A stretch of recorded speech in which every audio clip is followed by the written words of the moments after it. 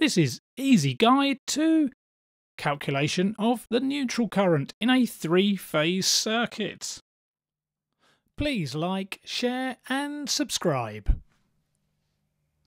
So let's have a look at a simple circuit. Here is a resistor with a, an ammeter connected to a 120 volt supply and we can work out how much current would flow.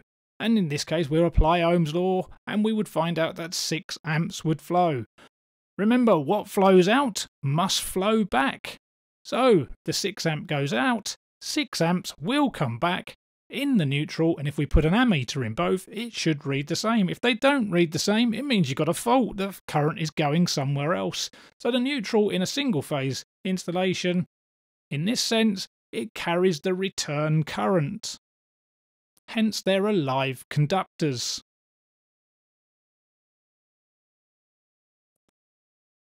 Let's have a look at this circuit. This is a star connected circuit with a neutral connected to the star point. And if we have currents flowing in, what would flow back, if anything, along the neutral? So we're going to, first of all, we're going to look at a balanced load. What do we mean by that? It's the same amount of current in each phase. So we're going to take a value and we'll say 25 in L1 L2 and L3. So there's 25 amps in each phase flowing. And this is what the current waveforms would look like. They are three identical 25 amp sine waves of current, all peaking at different points in time, 120 degrees out of phase of each other, because that's what three phase actually is. And if we take a vertical line and put a straight line through any point along this particular set of sine waves, and we were to add the values up at those given points where they cross, you'd have a positive and negative. When you add them up, it will equal zero. And if we add them at any particular point, the currents always equal zero at any point when we have this. Therefore, when we put an ammeter in a neutral conductor in a balance load as such, the current flow through the neutral will be zero. And if it's zero, guess what? We don't need it. It can disappear.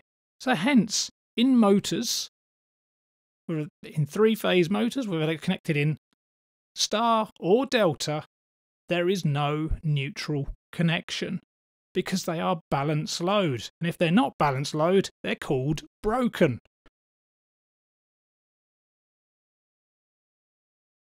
So there must be a way of calculating these. And there is.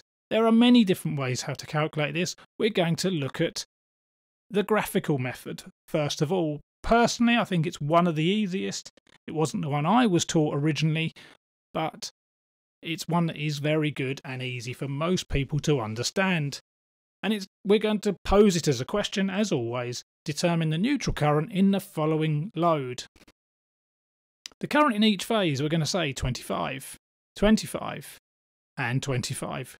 We've already said on the previous one that it's going to be zero, but we're going to prove it. So, how do we go about doing this? Well, what we do, it's an extension of a phasor diagram, but effectively it's a continuation of that drawing, and we're going to pick a scale. And what we're going to try and draw is an equilateral triangle, and an equilateral triangle has an angle, internal angles, of 60 degrees. And it doesn't matter which phase you start with, but you're just trying to draw a triangle. As long as you remember, each time you draw another phase, it is 60 degrees from the end of the last one. You'll get the idea, but you all know what triangles look like, and hopefully you'll all know what an equilateral would look like. So I'll draw L1, I'm going to draw 12 and a half centimetres, and these again are drawn to scale. And then we're going to put 60 degrees angle up there and draw the other one at 12 and a half centimetres at our 1 to 2 scale to give us our 25 amps. And then we draw the last one, L3 at 12 and a half centimetres. And what you'll notice is we've physically do draw a triangle. And the reason this is the case is because each phase is equal and therefore all the points meet. And therefore, because they all meet, there is no current flow in the neutral. And you might think, well, that states the obvious, but you'll see when we have an unbalanced load how that actually works and what I mean. So let's move on to another question. So they're going to look at the same one again, but this time we'll give you different currents. And we'll say we have 25 amps, 10 amps, and 7 amps. Again, it doesn't matter what phase you start off with, so pick one.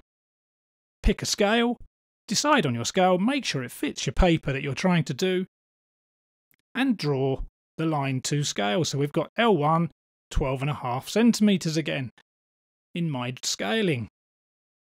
And then 60 degrees up. I'm going to draw the other line current.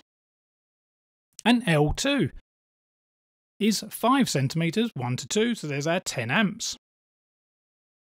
And then from the other side, we're going to draw L3, and that one is 7 amps, so it's 3.5 centimetres in length. Now you can see we are trying to make a triangle. It makes a bit more sense now, but it hasn't quite met. So how do we work out the neutral current for that? All we need to do now is draw a straight line from one point to the other. The length of this line, guess what? It represents the neutral current to scale of a 1 to 2 scale. So if we read off what the distance is we get approximately 8.3 centimeters. And if we multiply 8.3 by 2, you get 16.6 amps. So therefore, the neutral current in this particular circuit will equal 16.6 amps. Hopefully you can see that's not too difficult. You can apply this to anything. an alternative method, and actually one that a lot of students I find tend to prefer out of all the things that they come across. They prefer this one, and it is by far very accurate, and that's by calculation.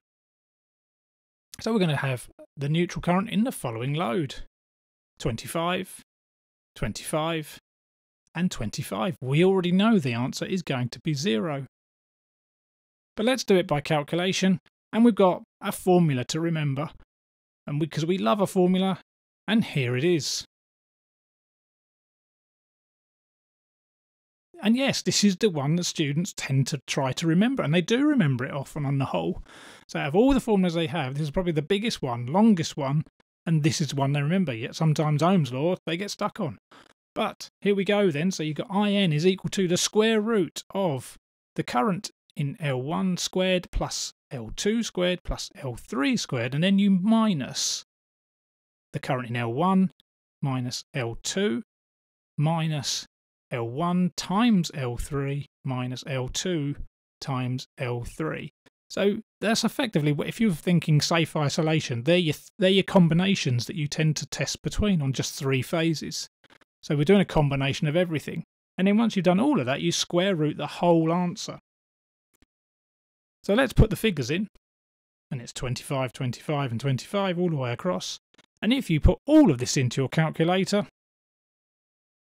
you will get an IN of 0 amps. But we already knew this, so if you get this as a question, you don't need to prove it. Or you do, maybe the question says prove by calculation, and then just do the calculation or do the drawing. Either way, um, if it doesn't ask for any of that and just says what's the neutral current, you know it should be 0. Now we're going to look at the unbalanced load by calculation method. So here's our neutral current. What are we going to work it out to be? L1 is 25, L2 is 10, L3 is 7. Remember, we've already done a drawing for this, but we're going to do by calculation. So let's use our very friendly formula. There's our values, and we need to put our figures into it.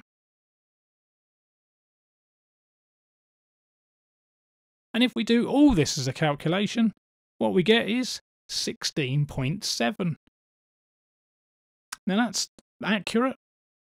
And I think we got 16.6, I think, on our drawing. So you can see how very close each method is. And it, to be honest, it's well within tolerance either way. But obviously on the drawing one, it does depend how well you do your drawing. So if you're not very good at doing drawings, uh, you're not very accurate, then your answer, don't expect that to be very accurate either.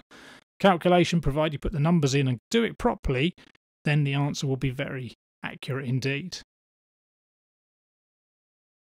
So, in summary, then, there's the graphical method, which is draw a triangle. Calculation, which is that long formula. And a balance load, neutral current will be zero. Other methods for calculation exist. There are plenty more out there that you could or could not use. And this assumes the power factor in each phase is the same. If it's not, they may not work. So, ensure that is correct and enjoy. This is Sparky Help. Thank you very much.